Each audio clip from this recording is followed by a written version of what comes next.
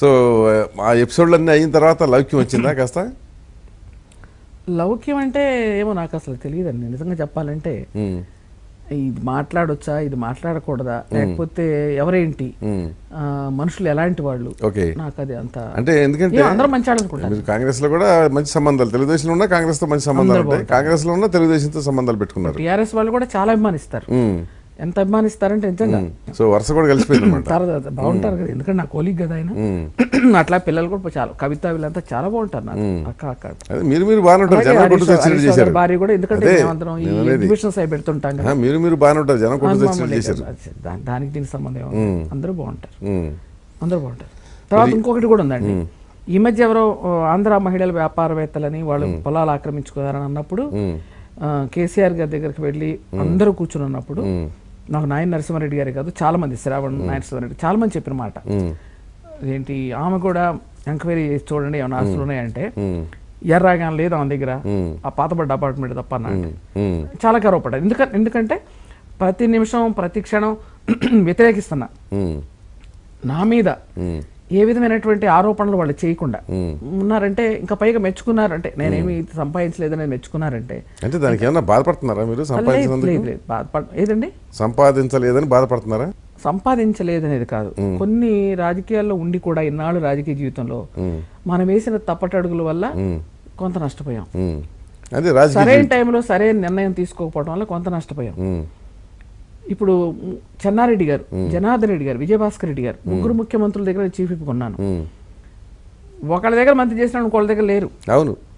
తర్వాత మళ్ళీ రోసయ్య గారు వెళ్ళిన తర్వాత వచ్చారు వీళ్ళందరూ. అయితే అటువంటిది ఎందుకని? ఎక్కడ ఎప్పుడు కూడా ఏదైనా పనులంటే నా వల్ల కాదయ్యా. నేను అలాగే చెన్నారెడ్డి గారు జనార్దన్ ముగ్గురు కూడా వాళ్ళు పది మంది దగ్గర మాట్లాడిన నా ముందు మాట్లాడినా ఓ పిచ్చిదాని కింద కట్టారు నన్ను. అంటే పిచ్చిదయ్యా ఏం తెలియదు పాపం. ఎప్పుడు మనం ఒత్తిడి పెట్టలేదు ఏ పని కూడా చేయించలేదు. మరి తను కూడా ఏం చేసుకోలేదు అనేటువంటి భావన వాళ్ళకు ఉండిందండి. అది నేను ఒప్పుకుంటాను అది డబ్బు సంపాదించలేదు సంపాదించారని చాలా ఏమన్నా అంటే ఇబ్బందులు మాత్రం తప్పు పడ్డారండి. అన్యాయం అది. చాలా ఇబ్బందులండి. దాని మూలంగా డబ్బు సంపాదించకపోవటం మూలంగా సంపాదించడం అంటే అక్రమంగా ఒకళ్ళని అన్యాయం చేసి సంపాదించక్కర్లేదండి. ఏమో ఉన్న డబ్బులో ఏదైనా స్థలం. ఎక్కడన్నా స్థలాలు కొనుక్కుంటే అవి పెరుగుతాయి కదా. అలా కూడా చేయలేకపోయాం. అది బాధ. తర్వాత ఉన్న ఆస్తులు కూడా అమ్మేశాను. గుంటూరులో ఇల్లు గుంటూరులో స్థలం. కొంత పొలం. ఏదో ఇప్పుడు వరకు సంతృప్తికర జీవితం ఉంది కదా ఎందుకు ఇంక బాధపడటం? ఉండటానికి తినడానికి లోటు లేదు కదా. ఉండటానికి తినడానికి లోటు లేదు. అంటే హస్బెండ్ పెన్షన్ వస్తుంది నా జీతం వస్తుంది. రేపటి నుంచి ఏంటనేది ఆలోచించాలి కదా. ఓకే అసలు ఏ చదువు సందే లేకుండా ఢిల్లీ పోయే వాళ్ళు కాంగ్రెస్లో ఉన్నప్పుడు రాజీవ్ గాంధీని కలిసారు ఏ భాషలో మాట్లాడేవాళ్ళు? కొంచెం ఇంగ్లీషు కొంచెం తెలుగు. వాళ్ళకేం అర్థమైంది తెలుగు వాళ్ళ- ఏం అర్థం చేసుకోవాలనుకుంటే అది అర్థం చేసుకున్నారు. పక్కాళ్ళు అనువాదం చేయడం. చాలా బాగుండారు రాజీవ్ గాంధీ గారు చాలా బాగుండారు ఉమ్, చూడగానే ఆయనతో పాటు మీటింగ్లో పాల్గొన్నాను కదా. చాలా ఫొటోస్ ఉన్నాయి మీరు చూస్తారు.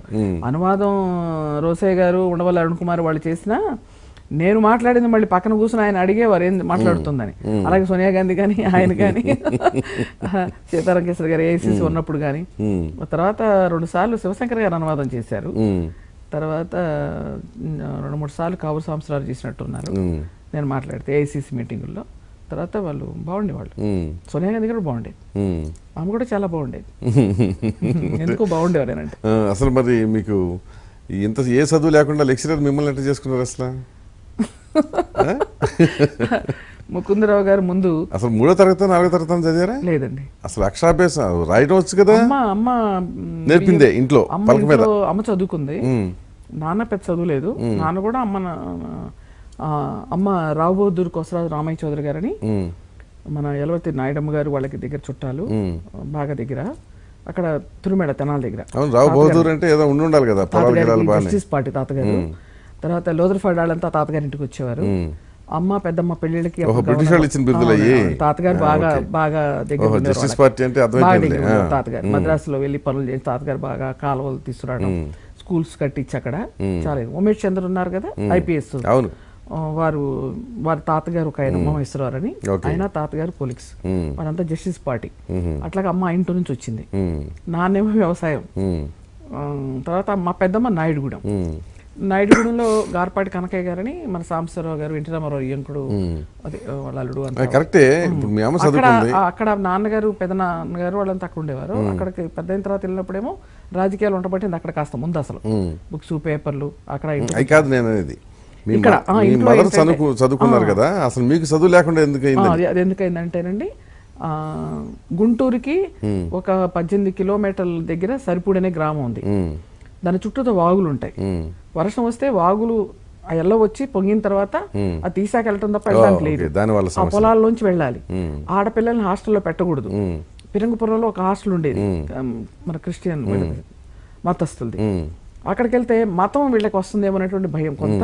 ఈ పిల్లలకి ఆడపిల్లలు కాబట్టి జడలు వేసుకోలేరు తల్లో ఇవన్నీ ఉంటాయి అనే తోటి పేలు వచ్చేస్తాయి. ఇవన్నీ కూడా. భయం. తర్వాత ఈ ఒంటికి దురదలు వస్తాయి హాస్టల్లో పిల్లలకి మూడు భయాలు ఉండేవి. ఆ భయాలతోటి చేసేవాళ్ళు సో అందుకని చదువు తాతగారు నాన్నగారు చదువుకునే అవకాశం రాలా. ఇద్దరికి చెల్లికి నాకు ఇద్దరికి చదవలేదు. తమ్ముడికి అన్నయ్యకి ఏంటంటే పెద్ద ఇంటి కాడ మేనమామల ఇంటి దగ్గర పెట్టి చదివించారు సరే మగపిల్లలు కనుక చదివించారు బయటికి వెళ్ళి మమ్మల్ని పంపించలేదు. అప్పుడు అమ్మ ఏం చేసిందంటే ఈ అక్షరాలు బియ్యంలో రాసి అక్షరాభ్యాసం చేసింది. అది గుర్తుంది? ఐదో ఏడు నుంచి. తర్వాత నాయనమ్మలు వీళ్ళంతా కూడా పురాణాలు బాగా చదివి వాళ్ళ అమ్మ కూడా బాగా చదివేది. భాగవతాలు భారతాలు మను చరిత్ర ఆ, పెద్ద బాల శిక్షలు రుక్మిణి కళ్యాణం అని సుమతి శతకాలని ఈ తెలుగు భాష నేర్పారండి. అదే అక్షరాలు వచ్చు తెలుగు భాష తెలుగు భాష వచ్చు. ఆ తెలుగు భాష వచ్చిన తర్వాత పదకొండవ సంవత్సరంలో తిరుపతి తీసుకొచ్చారంట. దేవుడిని చూసి కవిత ఉమ్, పదకొండేళ్ళకి అది రాసేసుకున్నాను. తర్వాత కవితలు రాయటం గోడల మీద. ఈ గోతాలకి రంగులు వేయడానికి తెచ్చేవాళ్ళు. పెసలు అంటే పచ్చ రంగు మినులు అంటే రంగు. ఎర్ర రంగు అంటే శనగలు ఇట్లా. ఆ ఇంకులు పెట్టి బొమ్మలు వేయటం గోడల మీద. గోడల మీద బొమ్మలు రచయిత్రి పెయింటరు రాశాను. రాస్తే పాటలు పాడుతుంది అమ్మ ఏం చేసింది? హార్మోనియం నేర్పించింది సంగీతం. ఈ హార్మోనియంలు ఉండే మా అందరిళ్ళలో హార్మోనియం. సరే సంగీతం. దాంతోపాటు సాహిత్యం వచ్చింది. ఎప్పటికి వచ్చింది పద్దెనిమిది ఏళ్ళకి సరే ముకుందరావు గారు నా సంబంధాలు చూడటం మొదలెట్టారు. పద్దెనిమిది ఏళ్ళు వచ్చాక. చదువు లేదు. ఎవడు చదువుకునేవాడిని చూడపోయినా ముందు చదువు లేదు వెనక్కి వెళ్ళిపోయాడు. చూపులు కూడా లేదు ఇక. ఏం చదువుకుంది అమ్మాయి చదువు చదువులేదు అబద్ధం చెప్పలేరు కదా. చదువు లేదు ఇంకా అప్పట పెళ్ళి చూపులు కూడా లేదు ఇక నాకు తెలిసినంత వరకు. ఒకసారి మాత్రం పక్క ఊరు నుంచి పెళ్ళి చూపులకు ఒక ఆడవాళ్ళు వచ్చారు చాలా మంది సరే వచ్చి వాళ్ళంతా చాలా మంది ఆడవాళ్ళు వచ్చారు. ఓ చూస్తున్నారు లంగా కట్టారు ఓణి లేయించారు నగలు పెట్టారు కూర్చోబెట్టారు. ఏదో అమ్మ సంగీతం పాడమన్నారు ఏదో పాట పాడిచ్చారు ఇవన్నీ చేస్తున్నారు. అసలు ఏంటో తెలియటల్లా అసలు. కాసేపు ఉండాక గుర్తొచ్చింది. ఇంతకు అసలు పెళ్ళి కూడా చదువుకున్నాడా లేదా అని. గుర్తొచ్చి ఎవరికి ఫోన్ చేసేది లేదు ఎవరితో అడగాలి. అమ్మ దగ్గరికి వెళ్ళి మెల్లిగా అమ్మ కాఫీ టిఫిన్ ఏర్పాటు చేస్తుంటే ఇంతకీ పెళ్ళి కొడుకు ఏం చదువుకున్నాడంట? అన్న. నువ్వు చదువుకోకపోతే చదువుకున్న వాళ్ళు ఎక్కడ దొరుకుతారు మనకి? ఆ అబ్బాయి చదువుకుని అటే నేను చేసుకోను. ఉమ్, మొదలెట్టే నిజంగా. ఆశ్చర్యపోతారు. సరే ఇంకా పాట వాళ్ళ చుట్టాలు వచ్చారు వాళ్ళ ముందు ముడుచు కూర్చున్నాను.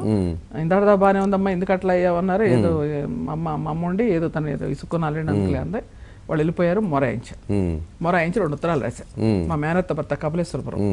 కొలిపరి సూరయ్య గారిని ఎమ్మెల్యే గారి తాతగారి చెల్లెల భర్త మళ్ళీ మేనత్తనిచ్చాం అక్కడ. మా మేనమామ తురిమెళ్ళ. ఇద్దరికి రెండు ఉత్తరాలు. నేను ఎట్టి పరిస్థితుల్లో చదువుకున్నాడు తప్ప చదువుకున్నాడు చేసుకోను. మీరిద్దరు అర్జెంటుగా రావాలి అని చెప్పాను. ఇద్దరు దిగారు. నాతో చెప్పారు. అది బొమ్మలు వేస్తుంది. ఉమ్, రచనలు చేస్తుంది. తెలుగు భాష బాగా వచ్చు. కాబట్టి మీరు ఎట్లా చదువుకున్నానికి ఇద్దాం అనుకున్నారు ఉమ్, మీకేమైనా మతిపోతుందా? చదువుకుందని అక్షర జ్ఞానం లేదండి అక్షర జ్ఞానం లేకుండా చేసిందో మీరే కదా అని చెప్పాను.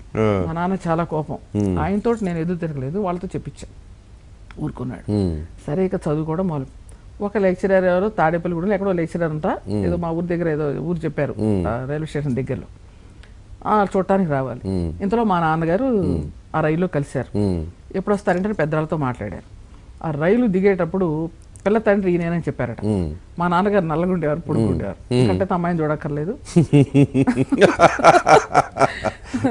అని అదే పోవటం ఇక నాన్న తెలిసిందన్నమాట. తెలిసి బాధపడ్డారు. అమ్మ చాలా అందంగా ఉండేది. నాన్నగారు కూడా కళగానే ఉండేవారు నల్లగున్నా. నాన్నగారు బాగా నలుపు కొంచెం పళ్ళెత్తిగా ఉండేది. చాలా పొడుగు సన్నగా ఉండేవారు. అమ్మేమో చాలా అందంగా ఉండేది. ఇంకా నాన్న ఇక కొంచెం బాధపడ్డారు. నీ పోలికలన్నా రాలేదు. అంటే ఈ పిల్లలు మరి కొంచెం అటు ఇటు కాకుండా ఉన్నారు. మన పిల్లలు పర్వాలేదు కదా. అయినా ఇట్లా చూడు ఇట్లా అన్నారు అని చెప్పంటే మా నాయనమ్మలు మా నాన్న బాధపడతలేరా? చూద్దాం ఎవరో ఒకళ్ళు వస్తారులే అన్నారు. ఇంతలో ఎవరెవరో సంబంధాలు చెప్తారు కట్నాలు అడుగుతారు. మా నాన్న కట్నం తీసుకోవాలా? ఎట్లా ఏంటనే పరిస్థితిలో ఉన్నారు. అప్పుడు మా అన్నయ్య కట్నం లేకుండా మా మేనమామ కూతురు చేసుకున్నాడు. తెనాల్లో ముకుందరావుతో పాటు లెక్చరర్గా ఉన్నారు. ముకుందరావు గారు తండ్రి మా తాతగారు మేనత్త మేనమామ ఓకే. అప్పుడు మా అన్నయ్య ద్వారా మా నాన్నగారు వాళ్ళు అడిగిచ్చారు ముకుంద ఉమ్, ముకుంద ద్వారా టక్కమని మా చెల్లెళ్ళు నలుగురు ఉన్నారు తమ్ముళ్ళు ముగ్గురు ఉన్నారు. నేను పెళ్ళి చేసుకోనండి. వాళ్ళ పెళ్ళి చేయాలి తర్వాత. సరే. మా వదిన డెలివరీ అయింది. ఆమె దగ్గర ఉంటాను ముందు మా చెల్లెలు వెళ్ళింది. తర్వాత నేను వెళ్ళాను. ఆ పిల్లవాడిని చూడటానికి అక్కడికి ముకుందరావు వచ్చారు. ఉమ్, ఆయన ఏమి నన్ను లవ్ చేయలే ముందు. నేను ఇంచక్క వాళ్ళ ఇంటికి వెళ్ళా. మనం ఎప్పుడు స్పీడే కదా? ఆయన చాలా నిదానం ముకుందరావు ఉమ్, అక్కడికి వెళ్ళేది వాళ్ళ చెల్లెళ్ళు చాలా పెద్ద కుటుంబం. ఒక పెద్ద ఇల్లు ఉండేది. ఏరుబడి అక్కడికి వచ్చి ఒక చిన్న ఇల్లు వేసుకుని ఉన్నారు. చింతలు అంటారు ఆ తోటలో.